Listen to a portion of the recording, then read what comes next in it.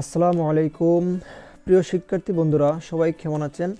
আলহামদুলিল্লাহ, আমিও ভালো আছি। অনেক দিন পর এসএসসি এর উপর নতুন একটি ভিডিও সিরিজ নিয়ে হাজির হলাম। যেহেতু সামনে কয়েকদিন পরেই এইচএসসি পরীক্ষার পরীক্ষা তাই আমি ভাবলাম যে প্রোগ্রামিং ভাষা সম্পর্কে আলোচনা করি। পঞ্চম অধ্যায়টা খুবই গুরুত্বপূর্ণ একটা অধ্যায়। যদি আপনি চান সেখান থেকে ভালোভাবে আনসার করতে পারেন এবং সেখান থেকে আনসার করে আপনি ভালো নাম্বার পেতে পারেন। কারণ পঞ্চম অধ্যায় থেকে আনসার করলে আপনি দশের মধ্যে দশই পাবেন। সেখানে কিছু প্রোগ্রাম রয়েছে, যে প্রোগ্রামগুলো লিখে দিলে আপনি খুব সহজেই নাম্বার পেয়ে যাবেন। সো বন্ধুরা, আমি নিয়মিত প্রোগ্রামিং ভাষা বা সি প্রোগ্রাম নিয়ে ভিডিও দেবো। আপনারা আমার চ্যানেলটি সাবস্ক্রাইব করবেন এবং সাথেই থাকবেন। তো, বন্ধুরা, আজকের আলোচ্য বিষয় হচ্ছে আমার প্রোগ্রামিং ভাষা, পঞ্চম অধ্যায়। প্রথম পর্ব শুরু করতেছি।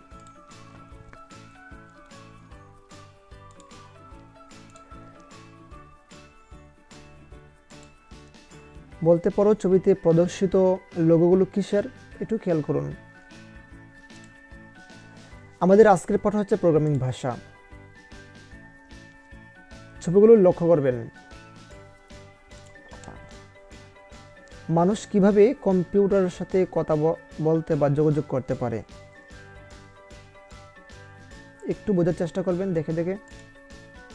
কম্পিউটার প্রোগ্রামিং ভাষার মাধ্যমে। অর্থাৎ কম্পিউটারের সাথে যদি মানুষ যোগাযোগ করতে হয়, তাহলে কি করতে হবে? কম্পিউটার প্রোগ্রামিং ভাষা লাগবে।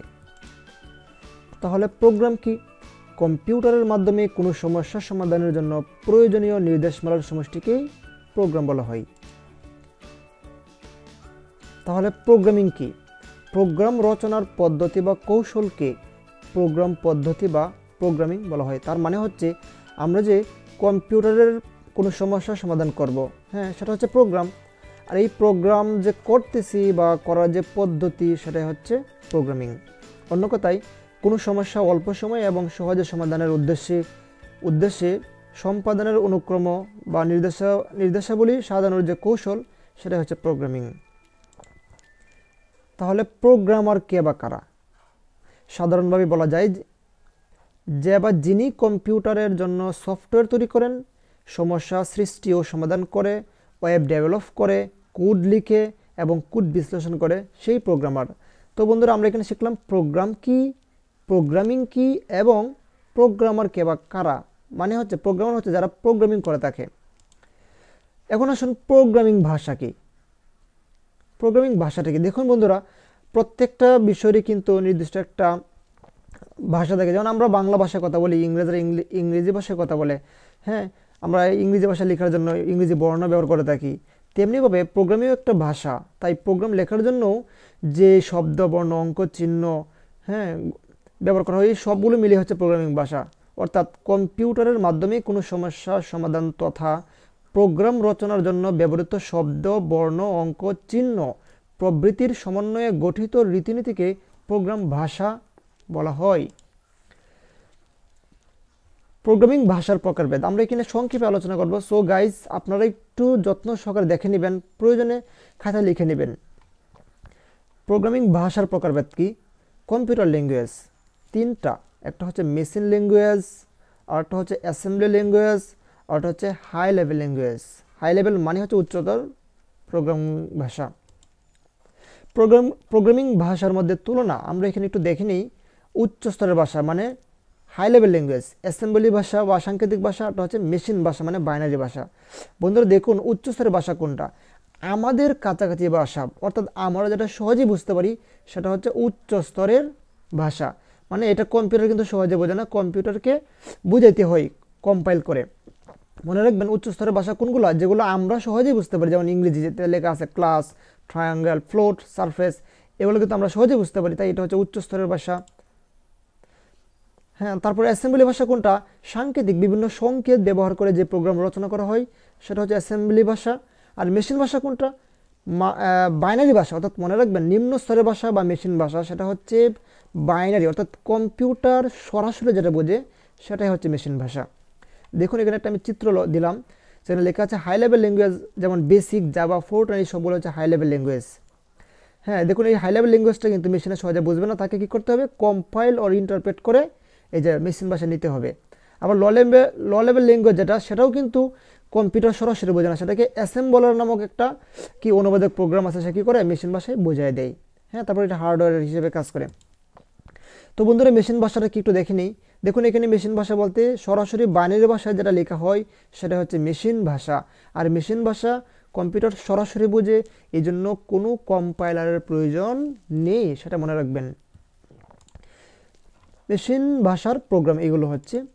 তো মেশিন ভাষাটা কি? কম্পিউটারের নিজস্ব ভাষা হচ্ছে মেশিন ভাষা। এটি কম্পিউটারের মৌলিক ভাষা। এই ভাষায় শুধুমাত্র জিরো এবং ওয়ান ব্যবহার করে ব্যবহার করা হয় বলে এই ভাষায় দেওয়া কোনো নির্দেশ কম্পিউটার সরাসরি বুঝতে পারে। মনে রাখবেন, একটা অবজেক্টিভ থাকতে পারে। কোন ভাষায় দেওয়া নির্দেশ কম্পিউটার সরাসরি বুঝতে পারে? আর সেটার উত্তরটা হবে মেশিন ভাষা বা বাইনারি ভাষা অথবা নিম্ন স্তরের ভাষা অথবা ল লেভেল ল্যাঙ্গুয়েজ এর সাহায্যে সরাসরি কম্পিউটারের সাথে যোগাযোগ করা যায়। মনে রাখবেন, কোন ভাষার সাহায্যে সরাসরি কম্পিউটারের সাথে যোগাযোগ করা যায়? আনসারটা হবে মেশিন ভাষা। সো বন্ধুরা, আপনারা অবশ্যই যত্ন সহকারে ভিডিওটি দেখবেন। মেশিন ভাষায় যেসব নির্দেশ দেওয়া হয়, তাদের চার ভাগে ভাগ করা হয়েছে। একটা হচ্ছে গাণিতিক মানে যোগ বিয়োগ ভাগ নিয়ন্ত্রণ মানে কন্ট্রোল অর্থাৎ load store jump input output অর্থাৎ পড়া, লেখা, এগুলো হচ্ছে মেশিন ভাষায় আমরা নির্দেশ দিয়ে থাকি, প্রত্যক্ষ ব্যবহার বা ডাইরেক্ট ইউজ অর্থাৎ আরম্ভ করা স্টার্ট থামা, থাম ও শেষ করা ইন্ড ইত্যাদি। তো বন্ধুরা, আমরা মেশিন ভাষার সুবিধাগুলো আমরা একটু দেখে নিব। বন্ধুরা, আপনারা স্ক্রিনশট নিয়ে দেখে নেবেন, অবশ্যই সেগুলো বুঝতে পারবেন। মেশিন ভাষার সবচেয়ে বড় সুবিধা হচ্ছে সরাসরি কম্পিউটারের সাথে যোগাযোগ করা যায়। হ্যাঁ মেশিন ভাষায় লেখা প্রোগ্রাম নির্বাহের জন্য কোনো প্রকার অনুবাদক প্রোগ্রামের প্রয়োজন হয় না। ফলে দ্রুত কাজ করে মেশিন ভাষায় লিখিত প্রোগ্রামে অতি অল্প মেমোরি প্রয়োজন হয়। কম্পিউটারের ভেতরের গঠন ভালোভাবে বুঝতে হলে এই ভাষা জানতে হবে। কিছু অসুবিধা রয়েছে, যেমন মেশিন ভাষা লিখিত কোনো প্রোগ্রাম সাধারণত বোঝা যায় না মানে এটা সহজে বোঝে না। শুধু জিরো এবং ওয়ান ব্যবহার করা হয় বলে প্রোগ্রাম লেখা খুবই কষ্টসাধ্য। এ ভাষায় প্রোগ্রাম লিখতে প্রচুর সময় লাগে এবং ভুল হবার সম্ভাবনা খুবই বেশি থাকে। ভুল হলে তা বের করা এবং ভুল ত্রুটি দূর করা তাও কঠিন। এ ভাষার সবচেয়ে বড় অসুবিধা হচ্ছে এক ধরনের কম্পিউটারের জন্য লিখিত প্রোগ্রাম অন্য ধরনের কম্পিউটার ব্যবহার করা যায় না। মেশিন ভাষাকে নিম্ন স্তরের ভাষা বলা হয়, সেটা কিন্তু মনে রাখবেন। নিম্ন স্তরের ভাষা কোনটা?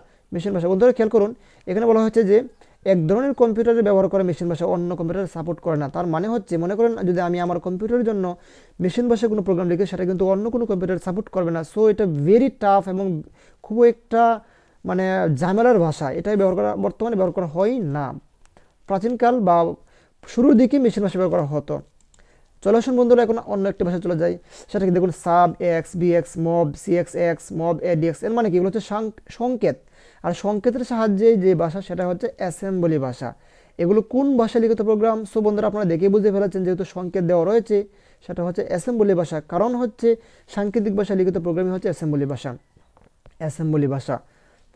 তো বন্ধুরা, আমরা দেখে নিই অ্যাসেম্বলি ভাষাটা কি? অ্যাসেম্বলি ভাষাকে সাংকেতিক ভাষাও বলা হয়।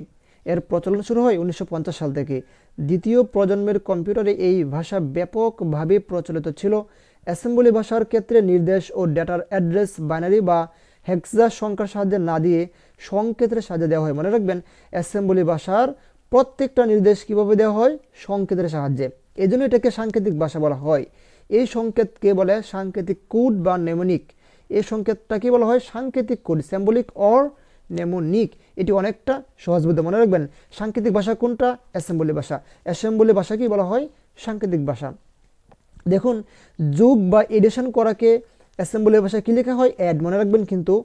বিয়োগ বা সাবস্ট্রাকশন করাকে লেখা হয় সাব মানে অ্যাসেম্বলি ভাষায় সাব লেখা হয়। গুণ বা মাল্টিপ্লাইকে লেখা হয় মাল, ভাগ বা ডিভিশনকে লেখা হয় ডিপ। এগুলো মনে রাখবেন নৈবৃত্তিকে আসতে পারে। So guys be careful assembly ভাষায় প্রতিটি নির্দেশের চারটি অংশ থাকে। মনে রাখবেন, অ্যাসেম্বলি ভাষার প্রত্যেকটা নির্দেশের কয়টা অংশ থাকে? চারটা। একটা হচ্ছে লেভেল দুই নম্বর হচ্ছে অপকুড অ্যান্ড তিন নম্বর হচ্ছে অপারেন্ট আর চার হচ্ছে কমেন্ট অর মন্তব্য। তাহলে অ্যাসেম্বলি ভাষার সুবিধাগুলো আমরা দেখে নিই। অ্যাসেম্বলি ভাষায় প্রোগ্রাম রচনা করা যান্ত্রিক ভাষার তুলনায় অনেক সহজ। যেহেতু আমরা যান্ত্রিক ভাষায় বাইনারিতে লেখা হয়, সেটা কিন্তু অনেকেই বুঝবে না বা ভালো কোনো প্রোগ্রামার দ্বারা সেটা করাই সম্ভব না। বাট অ্যাসেম্বলি ভাষায় যেহেতু বাইনারির পরিবর্তে বিভিন্ন সংকেত ব্যবহার করা হয়, বিভিন্ন সংকেত, এজন্য এটা নর্মাল প্রোগ্রামারও করতে পারে এবং অনেকটাই সহজ।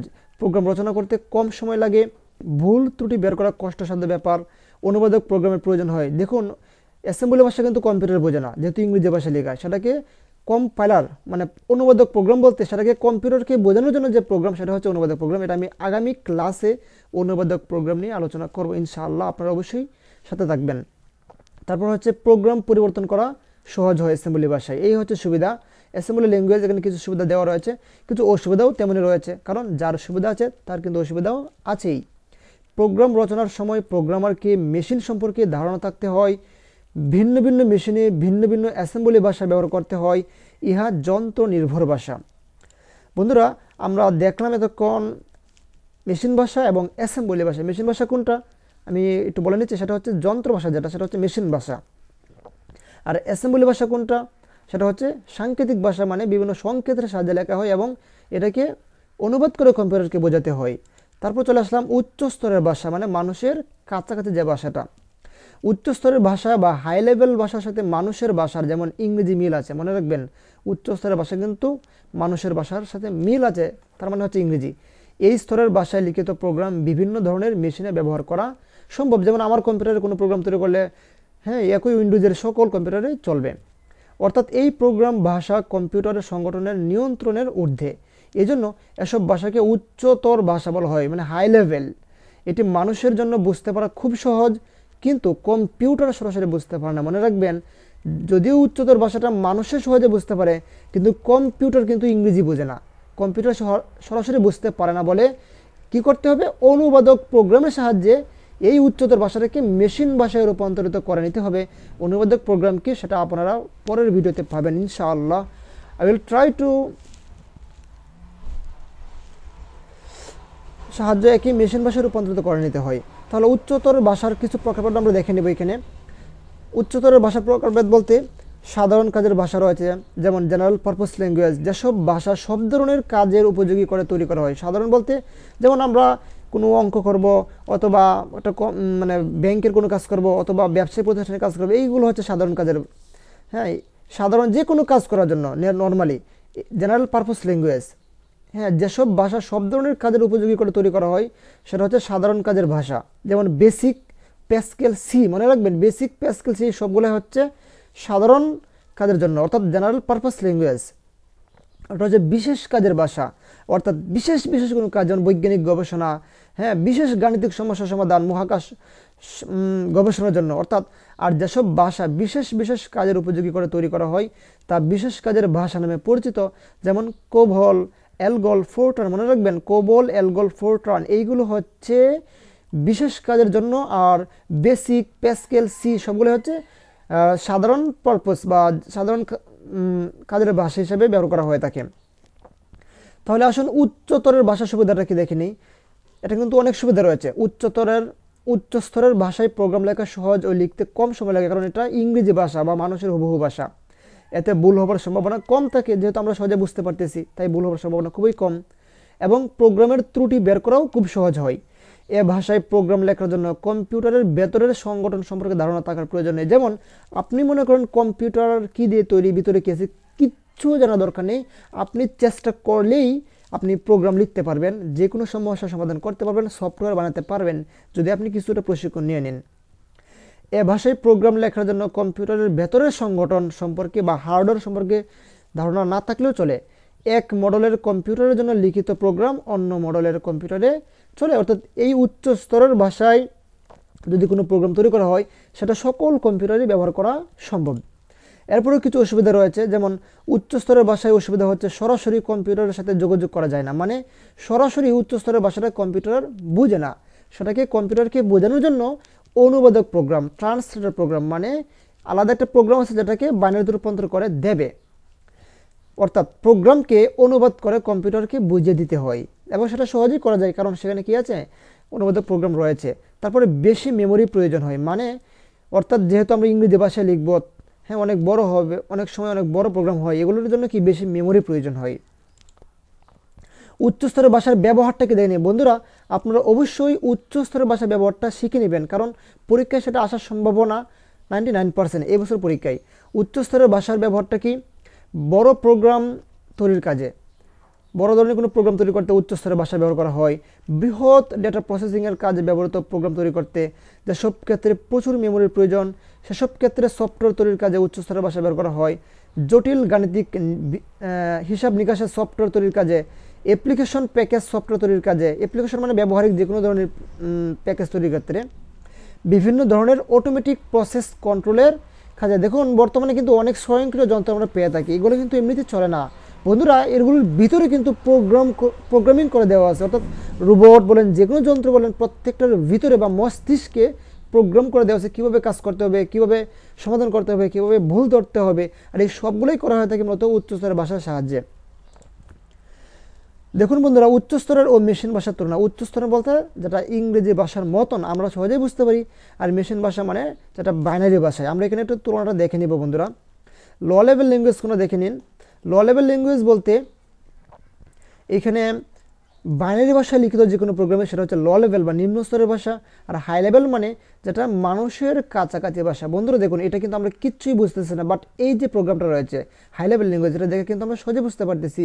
দেখুন, এখানে সেল প্রাইস লেখা আছে এত হ্যাঁ ইফ সেল প্রাইস যদি দুইয়ের বেশি হয়, তাহলে ডিসকাউন্ট করবে এত হ্যাঁ এলস অন্যতায় ডিসকাউন্ট করবে এত। খেয়াল করুন বন্ধুরা, এটা কিন্তু আমরা সহজে বুঝতে পারি এবং কীভাবে কাজ করতেছে সেটা বুঝতে পারি। অর্থাৎ যেটা মানুষের কাছাকাছি ভাষা, সেটা হচ্ছে হাই লেভেল ল্যাঙ্গুয়েজ আর যেটা যন্ত্র ভাষা বা বাইনারি ভাষা, সেটা হচ্ছে ল লেভেল ল্যাঙ্গুয়েজ আরেকটা খেয়াল করুন, এখানে এই যে ল্যাপটপটা দেওয়া রয়েছে, এখানে দেখুন প্রসেসিং টাইম স্লো ফাস্ট মানে খুবই দ্রুত, অর্থাৎ ল লেভেল ল্যাঙ্গুয়েজ যেহেতু কোনো মানে অনুবাদ প্রোগ্রামের প্রয়োজন হয় না, তাই এটা খুবই দ্রুত প্রসেস করে।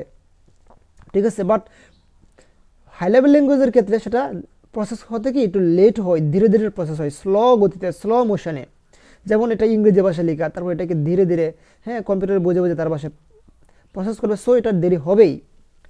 তাছাড়া ল লেভেল ল্যাঙ্গুয়েজে অনুবাদের প্রোগ্রামের প্রয়োজন হয় আর হাই লেভেল ল্যাঙ্গুয়েজে অনুবাদের প্রোগ্রামের প্রয়োজন হয় হয় আর ল লেভেল ল্যাঙ্গুয়েজে অনুবাদের প্রোগ্রামের প্রয়োজন হয় না। ল লেভেল লেভেলে মানে যে কোনো ভাষা লেখাটা কঠিন, কিন্তু হাই লেভেল ল্যাঙ্গুয়েজে যে কোনো ভাষা লেখাটা কী হয়? সহজ হয়। কয়েকটি উচ্চস্তরের ভাষা আমরা জেনে নিই কোবল মূলত বিজনেস পারপোসের জন্য কোবল মানে ভাষাটা ব্যবহার সরি ব্যবহার করা হয়ে থাকে। আর ফোরট্রান মানে ফর্মুলা ট্রান্সলেশন অর্থাৎ ইঞ্জিনিয়ারিং অ্যান্ড সায়েন্টিফিক অ্যাপ্লিকেশন তৈরি করতে ফোরট্রান বন্ধুরা, এগুলো একটু জেনে নেবেন, কারণ জানা ভালো পরীক্ষা আসলে দিতে পারবেন। ফোরট্রান ইঞ্জিনিয়ারিং অ্যান্ড সায়েন্টিফিক অ্যাপ্লিকেশনের জন্য ফোরট্রান ব্যবহার করা হয় Pascal general use and as a teaching tool অর্থাৎ জেনারেল অর্থাৎ সাধারণ বা কোনো শিক্ষণীয় কোনো কিছু তৈরি করতে ফেসকেলটা ব্যবহার করা হয়।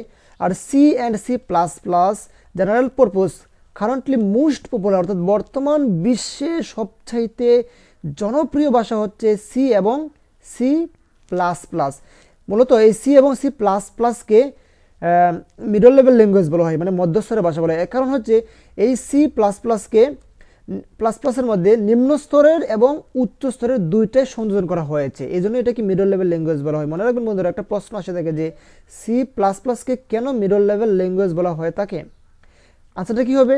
সি প্লাস প্লাস বা সি এর মধ্যে নিম্ন স্তরের এবং উচ্চ স্তরের অর্থাৎ low level language and high level ল্যাঙ্গুয়েজের সমন্বয়ে সি এবং সি প্লাস প্লাসটা তৈরি করা হয়েছে। এজন্য এটাকে general purpose or currently most popular একটা ভাষা বলা হয়। তারপর হচ্ছে ফ্রোলগ ব্যবহার খুব কম। আর্টিফিশিয়াল ইন্টেলিজেন্স আর্টিফিশিয়াল ইন্টেলিজেন্সের জন্য প্রলোগ করা হয়ে থাকে প্রলোগ ভাষাটা ব্যবহার করা হয় Java general all purpose programming বর্তমানে জাবা অনেক মোবাইল অ্যান্ড্রয়েড সফটওয়্যার কিন্তু জাবার সাহায্যে তৈরি করা হয়ে থাকে। তারপর হচ্ছে dot net general or web application web অর্থাৎ ওয়েবসাইট তৈরি করার জন্য যেই ভাষা সেটা হচ্ছে. ডট নেট অর্থাৎ এই সবগুলোই মোটামুটি ব্যবহার করা হয়ে থাকে। বন্ধুরা, আমাদের আজকের আলোচনা এটুকুই থাকবে। তবে কিছু একক কাজ থাকবে আপনাদের জন্য। এক নম্বর হচ্ছে সবচেয়ে দ্রুত নির্বাহ হয় কোন ভাষার প্রোগ্রাম, সেটা অবশ্যই আপনার কমেন্ট বক্সে জানিয়ে দিবেন। উচ্চ স্তরের ভাষা অ্যাসেম্বলি ভাষা মেশিন ভাষা চতুর্থ চতুর্থ স্তরের ভাষা। তারপর দলীয় কাজটা হচ্ছে আপনাদের অ্যাসেম্বলি ভাষার সুবিধা লিখবেন এবং উচ্চ স্তরের ভাষায় সুবিধাগুলো লিখবেন, দুইটা দল। আর আমরা মূল্যায়ন করতেছি সেটা হচ্ছে প্রোগ্রামকে অবশ্যই খাতা লিখে নেবেন প্রোগ্রামের ভাষাকে অবশ্যই খাতা লিখে নেবেন মেশিন ভাষার একটি সুবিধা হলো হ্যাঁ বা লিখে নেবেন। উচ্চস্তরের ভাষার অসুবিধাগুলো লিখে নেবেন। বন্ধুরা, যদি আপনারা ভিডিওটি দেখে প্র্যাকটিস করেন, তাহলে অবশ্যই পরীক্ষা ভালো করতে পারবেন। আর পরীক্ষা বেশি দূরে নয়, মাত্র তিন মাস রয়েছে। আমি এই তিন মাসের মধ্যেই সবগুলো ভিডিও দিব ইনশাল্লাহ আমার ভিডিওটি শেষ পর্যন্ত দেখে নেবেন। খুবই ভালো লাগবে, আশা করি। আর বাড়ির কাজ হচ্ছে, একটি চোখের মাধ্যমে বিভিন্ন ভাষার সুবিধা ও অসুবিধা লিখে আনবেন। থ্যাংক ইউ সো মাচ বন্ধুরা। আমার জন্য দোয়া করবেন যাতে করে আমি রেগুলার ভিডিওগুলো দিতে পারি আপনাদেরকে এবং এই পঞ্চম অধ্যায়ের ভিডিও সিরিজটা আমি শেষ করতে পারি, যাতে করে আপনারা পরীক্ষায় ভালো করতে পারেন। বন্ধুরা, আজকের ভিডিও এতটুকুই থাকল। আসসালামু আলাইকুম।